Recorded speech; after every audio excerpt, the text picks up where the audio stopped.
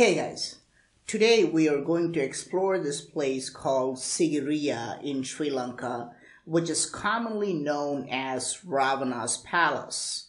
It is a very fascinating place, and on top of this rock, we have some amazing ruins. But once you reach the top and you observe what's going on at the ground level, we can see some really bizarre details. Sigiriya is surrounded by a massive jungle and we can see numerous huge rocks placed all around. To a regular tourist, this appears quite normal. It's only natural to have rocks on the ground. But if you zoom in with your camera, you realize that these rocks have been put there and have the most bizarre tool marks which cannot be explained. For example, look at this rock. It literally has hundreds of small cubes cut out of it. And on the top, we even have a larger cube cut out as though someone wanted to sit there and perform some kind of an experiment. Why would anyone scoop out hundreds of cubes on a rock that's in the middle of a jungle? This is not an isolated case. Pay close attention to what is around this rock. You can see there is yet another rock hidden and it also has these cube marks all over it. I have spotted so many rocks like this. Look at this rock. Again, located in the middle of the jungle with nothing around it but trees has so many cubes cut out all over it. Why? If you look at the panoramic view from the top of Sigiriya, this whole jungle is full of hundreds of these rocks, if not thousands. Am I saying all these rocks have been worked on? Actually, yes, that is exactly what I'm saying. How about this rock, for example? It looks natural to the human eye. Is this a natural rock untouched by ancient builders? If you zoom in, you can see the tool marks, the same cube marks cut all over it.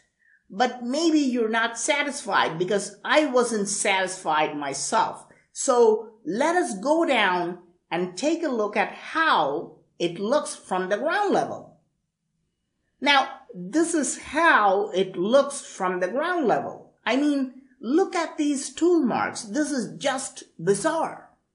We have to admit that ancient builders were doing something which is beyond our understanding.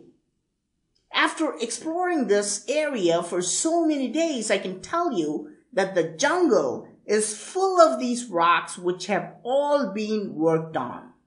And archaeologists have no idea why these cuts were made. We simply don't understand what ancient builders were doing with these rocks. The technology behind this is so far advanced, we have no idea why these were created. And this raises a very important question. Did they just work on these rocks that were already there? Or did they also transport and place these rocks here strategically all around the Sigiriya rock? I ask this because it appears that these rocks are strategically placed and look as though they were set up to make it specifically visible from the top of Sigiriya. Now, Let's go back to why these cubes were scooped out. Archaeologists have no answer for this, but locals call them Ravana rocks and claim that originally these cube slots had lenses attached to them. It is said that lenses made of crystals were placed in these slots. Imagine how it would have looked. This would be a stunning sight to see.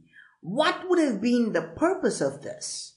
Was it some kind of a light technology where they used to focus sunlight to a specific point? Today, we use various lenses like Fresnel lens, for example, to heat, melt, and tap solar energy were ancient builders using a similar technology. Remember, we saw these grooves and holes all over the rock face on the Sigiriya rock itself, were lenses placed on these slots and holes as well. Is this why we see these weird cuts and slots all around? What could be the purpose behind placing thousands of lenses in clusters all around a place like this? Why did ancient builders do this? Please let me know your thoughts in the comment section. I am Praveen Mohan. Thanks a lot for watching. Don't forget to subscribe and also click on the bell button to get all the updates. Please give this video a thumbs up and do share it with your friends. And I will talk to you soon. Bye.